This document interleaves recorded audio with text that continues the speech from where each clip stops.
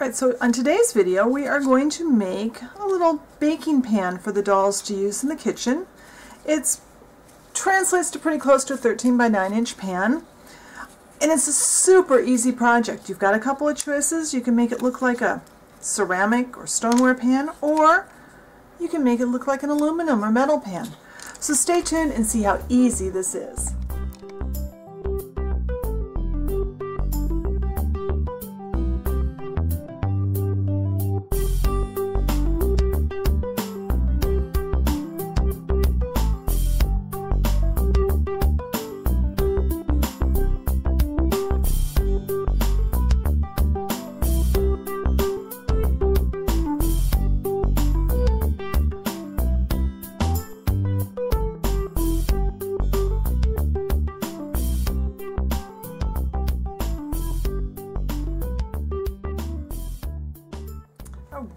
Time to make a video here. So we have, I already showed you in the intro our project, so I've got both of my examples here that I've already made ahead. Here's what we're going to start with. What we are making these baking pans with is cardstock. This is the cardstock that's sold for scrapbooking and card making. It's heavier than um, printer paper by quite a bit. It's it's pretty solid, it's pretty sturdy, but we're going to make it much heavier. So there's a couple of steps to that. I pre-cut this so you wouldn't have to watch me try to cut around my ruler. This is one and a quarter by two inches and the measurements will be in the blog post so be sure and check the blog post for that. So first thing we need to do is do some scoring. We are going to score the long sides and I don't remember what order I said in the blog post, but you can do it in any order as long as you get the right measurements.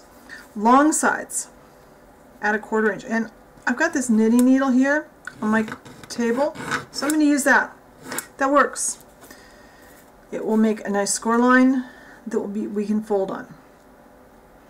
For this white paper, you don't need a really, really, you know, aggressive scoring line. Take your time, make sure everything is straight. Hopefully I'm straight.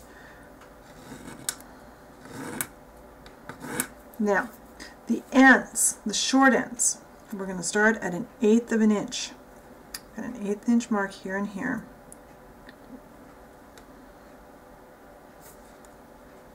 Hopefully I'm getting this straight without being able to put my head right over it. And then at 3 eighths, this gives us the little lip to hold a fold over on the end, the little handle. So whoever takes it out of the oven in your dollhouse won't, will have some place to hold on to it. Now these are nice whether you're going to fill them with food or you can have them just like on the counter or you know wherever in whatever scene you're using. 3 eighths. All right. Now, next we want to pre-fold on all of our score lines. And this end one I actually like to fold both ways. Make nice crisp folds on these ones going around the center.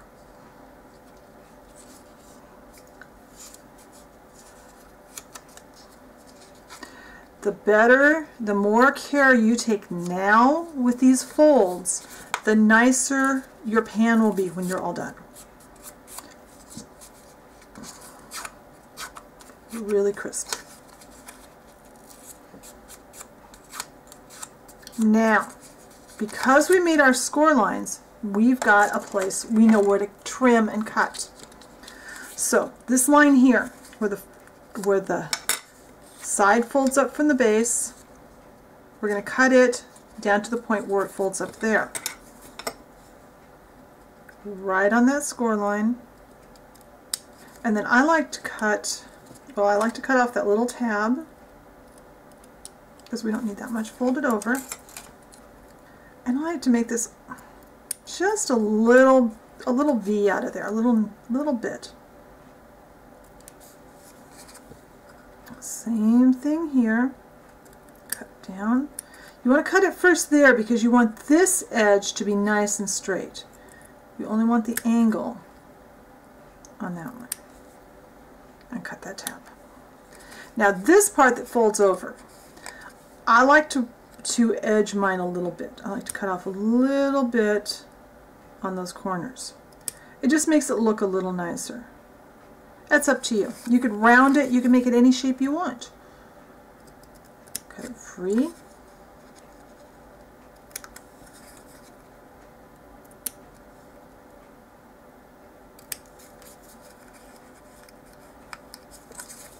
And because we've pre-folded those score lines, it makes it really easy to uh, see where to cut. And we don't end up with pencil marks. Now if you don't have, you know, you can draw the lines if you want to, but this way I don't have pencil lines to cover.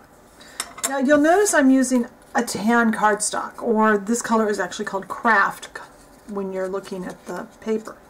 I did that for a couple of reasons. Excuse me we want to coat this in paint. When we start painting it, we are going to paint both sides. And I'll, I'll explain to you when we get that far, but don't paint, the, don't use paper the color that you're going to paint the dish thinking it will make it easier. It will actually make it harder. So now, little fast grab tacky. And I don't normally go straight out of the bottle, but this bottle is um, almost empty and it's I don't really want to waste it by putting it out on my on my tile. Some little clips. I got these handy little clips at Dollar Tree and they work really nicely.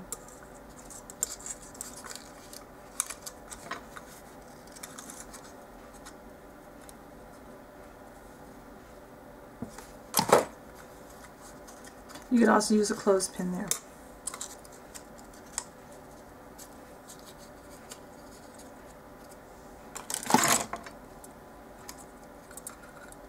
Alright, now this glue has to dry completely before we paint. Don't fudge on this step because if you do, you're going to not have as nice a finish. So after the glue dries, we'll be back. Right, it's now that the glue is dry, it's you need to have decided what color or how you're going to finish your pan. If you want to make it look metal, you are going to now base coat it with black. And if you want it to be ceramic, we're going to base coat with white, and that's what I'm going to do today. I noticed that my pan is a little smaller than the ones I made the other day. That's because I used a different ruler to score it. And that made a that little tiny bit made a big difference. Now, it's really important when we're painting. This will warp if we only paint one side. So what, and this is going to be a really messy process. We are going to paint, we want to thoroughly coat the inside. I like to start with the inside. I don't know why, I just do.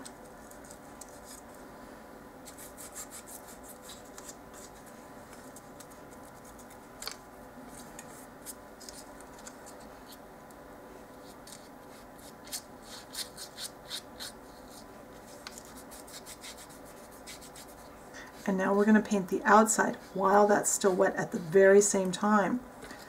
By painting both sides, we minimize, we don't eliminate, but we minimize the amount that this will warp. And I find that if I just, let's get it painted, and now just leave it upside down like this, those little tabs will hold it up off the paper, the tile, and it can dry. Now one of the reasons that we used a contrasting color is when this dries, we're going to put two coats on. If at the end of two coats of paint I still see my original color of paper, that will mean I need to add a third coat. So we're going to let this dry. I'll come back. I'll do a second coat off camera. And after the second coat is dry, I'll come back and we'll move on. All right, so now we have a good coat of white paint on our casserole dish. And kind of need to bend those sides in a little bit, but it's already a lot stronger than just the paper. Now we make a decision. Do we want to leave it all white? I like the look of the darker color of paint on the outside, so I'm going to use red this time. I picked up this red paint. Was doing some picking up in here and it was kind of in with some other stuff. So now we are free, now that we've sealed this pretty well, we can paint just the outside. And depending on the look you're looking for, you might want two coats or you might just want one. Oops. The secret is getting this on without getting paint all over the inside. Although you can touch up the white on the inside if you get any in there.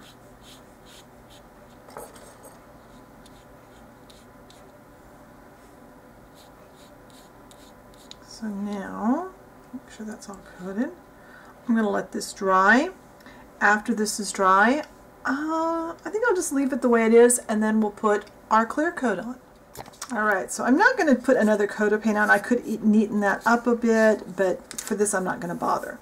Now to make this look not like painted paper, to make it look more like ceramic, we're going to put a coat of triple thick on. I know for a while people were using a lot of triple thick in miniatures to do food, and I really don't like it for that. But for this, it, I really think it works really nicely because it's, like the name says, it's thick. One coat gives a really nice, shiny finish that looks, it gives the illusion of ceramic or glass or whatever, you know, stoneware and it seems to level itself out fairly well so you don't end up with brush strokes. I've so far I have not had to do multiple coats with this product. It does have a slight smell um, but I like it a lot for this. So put a coat on and then flip your container over and put a coat on the inside. When I get that done, I'll be back. Alright, so that's how easy these are to make. And the triple thick does make a really nice shiny surface and it really strengthens the, um, the paper and makes it a lot more firm. So I hope you enjoyed this project. Be sure and ch check the blog post. I've got the um, dimensions there and a few other hints and tips. And stay tuned till next week and see what we make then. Bye.